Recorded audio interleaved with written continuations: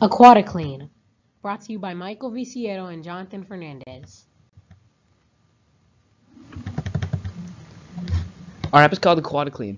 It basically helps you test water for chlorine levels or bacteria levels. You use an attachment available by wire or Bluetooth.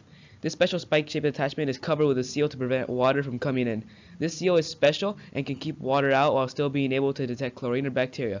The spike is sold separately and package comes with multiple seals in case one breaks. Our app is useful for people who are pool cleaners or owners and people who may need to know if their water is safe to drink. It is also useful for people exploring the outdoors.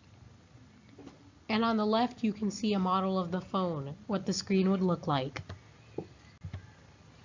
the app in development. We had many ideas, but ended up with Aquaticlean. First, we were thinking of an acid tester for identifying chemicals in water. Then we thought of a chlorine tester for pools. So we combined the ideas and made an app that tests chlorine and bacteria. And we have a rough sketch on the right of the app menu and the attachments. The art by Michael. Who the app helps, who the problem affects. So basically anybody that has anything to do with water. So if you're a pool cleaner or a pool owner, it affects you. If you work at a water plant, it affects you. If you're out in the wilderness and need a drink, it affects you. You know, if you're Zephyr Hill, if you're Zephyrhills or one of those big brands, it also affects you. You will know if the problem is solved by a certain process. After cleaning the water or adding chlorine, go to the specific menu, bacteria chlorine, then you select recheck. The app will boot up the extension and regularly check and then give the rating. If the chlorine levels are moderate or the water is clean, then the app has done its job correctly.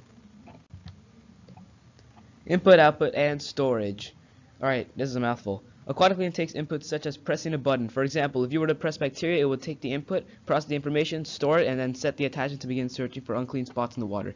Once it finds bacteria, it sends the output to the screen. It will show if the water is dirty or not. The way it processes, stores, and outputs information is as it follows. The app takes the input, which is a button press, and processes whether you pick bacteria or chlorine mode. The app stores this information and sends it to the attachment. When the attachment receives this mode, it then searches for what, whether you inputted whether it's bacteria or chlorine levels. Once it finds what it's looking for, it sends the information back to the screen showing you the rating. Once the information is sent to the screen, that's the output.